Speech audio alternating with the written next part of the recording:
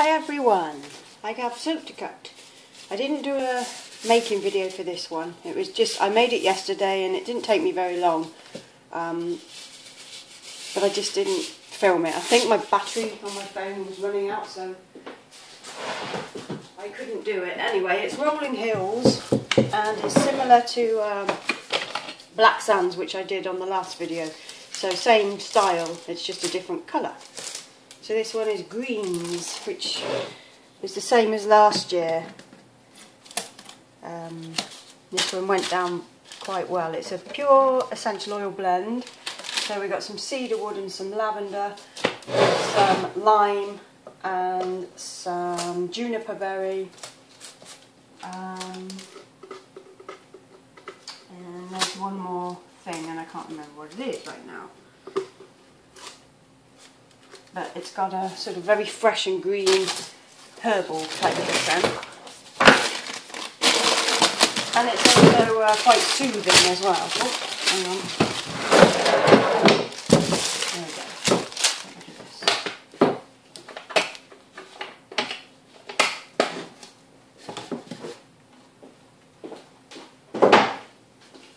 So yeah, Rolling Hills. I did it slightly different this time in that I put a cocoa line on the top, which I don't normally do. It's normally just the green gradient all the way to the top, but I really liked how the Black Sands one came out with the blue mica, so I thought let's just use a bit of cocoa just to give it a nice bit of contrast towards the top. And then this top, I added some TD to the sort of pale pastel green that I got left, and it's come out this kind of like a pistachio colour which is actually really nice. Nice for summer. I like sort of, you know, pastels and creamy colours for summertime, just because it gets so hot and I like to have something sort of cooling to look at and to use. So this one's a really nice soap for that. Um, so it's Sunday morning and I've just come up from, from the house to come and cut this. And then I don't think we're doing very much today. I'm going to cook a roast dinner we haven't had one for months. Um,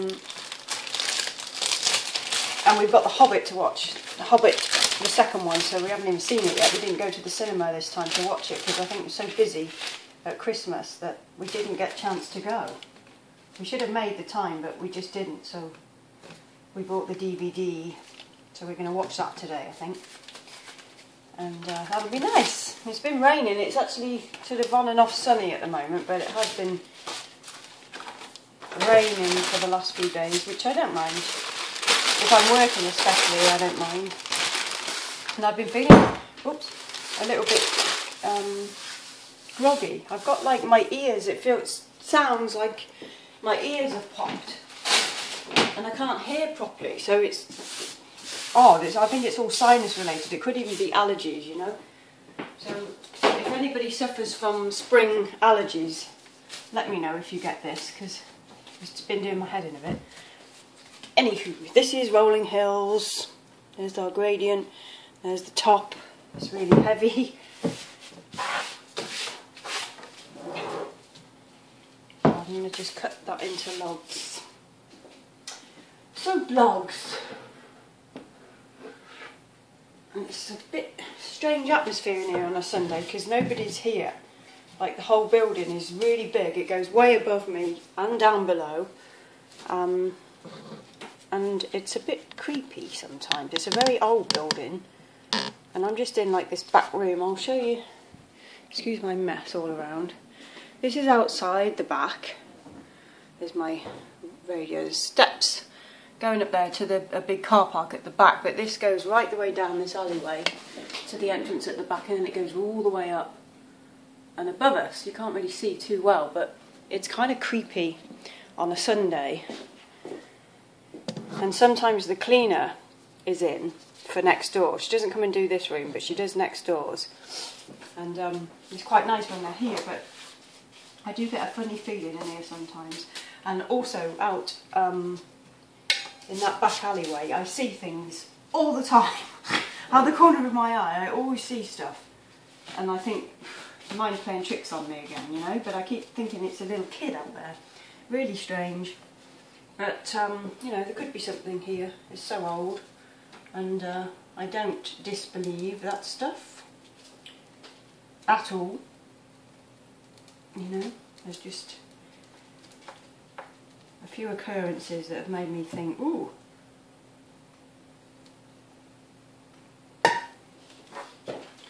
I don't like that. So yeah, it's a bit odd. Here's the first log. I don't know how old, how, how old the building is. It's got to be sort of um, pretty old because the high street here is old. Um, I mean, well, the abbey and everything dates back to like God knows when. I know the Battle of Evesham here was like 1265. I've been reading all about that recently. Um, but the buildings in the high street, I mean, I'm not really sure how old this one is, but I'd say it's pretty old.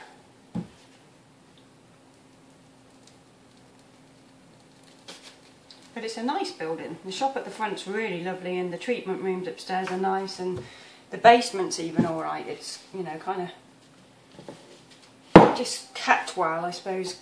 Um, the lady that owns it, she keeps it in good repair and it's just a good old building, you know. But this place on the back where I am must have been an extension. But yeah, do get creeped out when I'm in here on my own sometimes. So you're with me.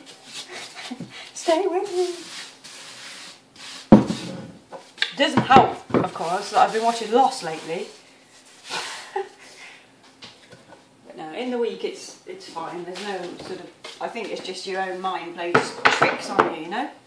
I'm just to pour my coffee.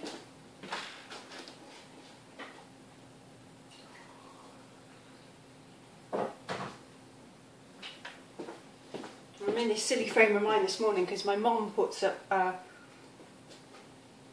my mom is Pinterest crazy, and she puts up all these crazy stories, like ghost stories and stuff, on her Pinterest, and people who've spontaneously combusted and things like things like that. So I like to look at these things that she puts up. She's always been into that crazy sort of stuff, and uh, yeah. So I was reading some not urban myths, but they I read. I was reading some stories that people have posted to something like I think some of them have been on Reddit and and there were some other things, but it was like stories that had happened and involved serial killers and where people had got away and then realised who they'd been in the car with and um, things like that. So I was already, I've already freaked myself out this morning by reading things like that. But I like things like that. I like reading about weird stuff. You know? I like peculiar things. Anyway, just gonna aim you down so you can see the wires going through the soap. So, rolling hills. Mmm, that's lovely. I sort of upped the lime in it this year. It's still the same blend, but I upped the lime slightly more than last year. So it only had a hint, but this time it's got a little bit more. So it's a bit more refreshing citrusy scent, which is pretty hard. And I hope these wires don't blend in. Go on me. Should be alright, but it is pretty hard today. So here we go. That's Rolling Hills with the black line. They come out like. I'll give them a good old trim up in a second after I finish this video, I, I stand here then and trim all the edges up, which takes me about, I don't know, half an hour. I did stop doing all of that, as mentioned previously, but um, I think it's better to do it. Because if you want to offer like a luxury product, which I think handmade soap is a luxury to be honest, well, it is, isn't it? I mean, you know, anybody can go to the supermarket and buy a cheap bar of soap, but handmade soap is luxurious, so it's nice to make it just add a little bit of perfection. So I listened to my boyfriend who told me to always be consistent, and uh, I've gone back to trimming all my soaps up again. So he was right, actually.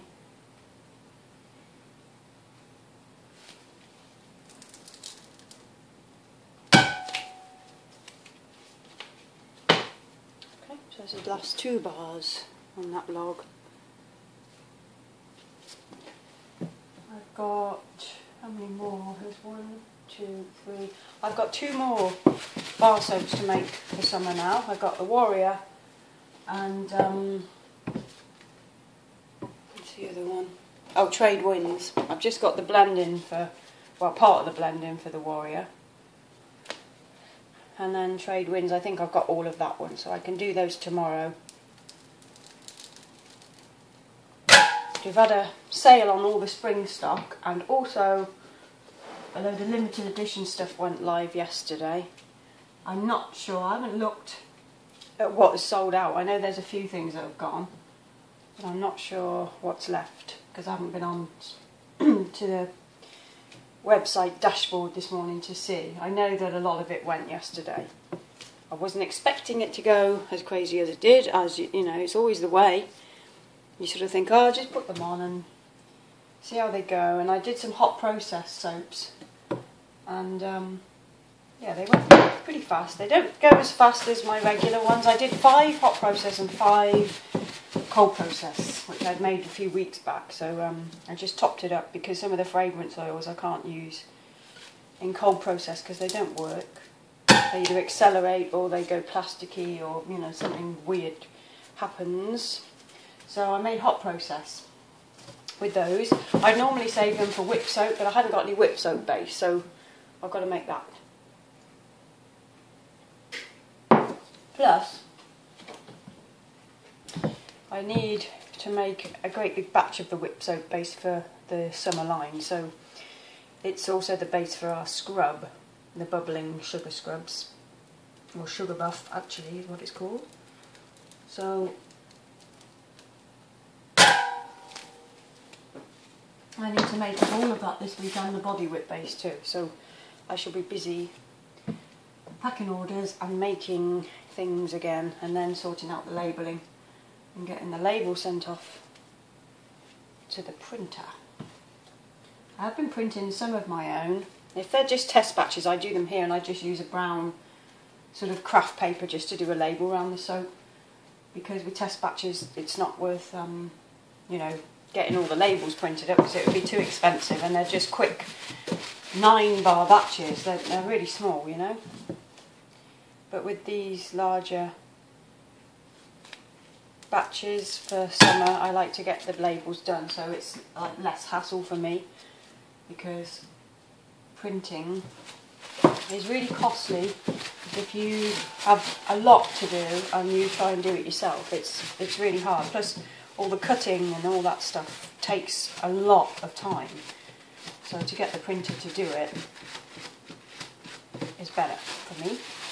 Just you know saves saves a lot of time. So the only time I have to waste a bit of time is going to pick them up because they don't send them to me. I mean I could ask them to but I always pay the guy cash. So I go and collect my orders. And it's always nice to pop over to Cheltenham which is where I get them done. I used to work there so I know the guy.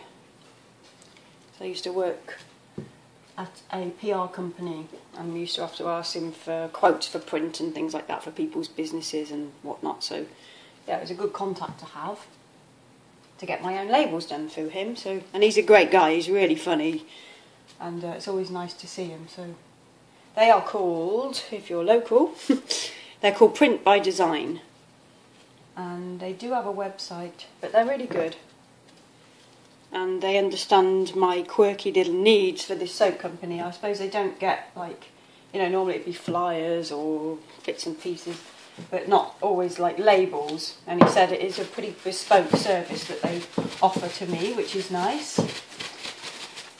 Because usually, I suppose it's brochures and things like that that they're used to printing. I don't really do a brochure.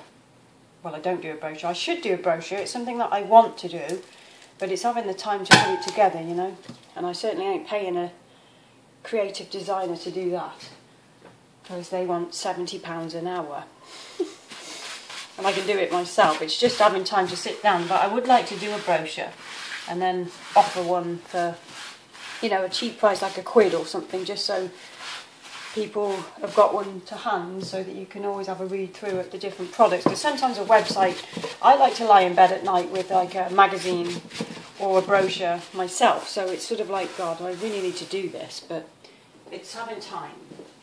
And whether it would be worthwhile, because they're not cheap to have printed either. So um, I'll have a think about that. But I like to offer one just to show the general catalogue stuff. And uh, you know, sneak peeks at seasonal stuff and scent lists and things like that. Not that it's not all on the website, but people sometimes I think it's better if you've got something in your hand that you can read because you miss things on websites because some are so big, you know, you have to put that much information on them. Anyway, there's Rolling Hills, and I'm going to trim it all up, and I will see you. I don't know when. Soon. Okay, bye.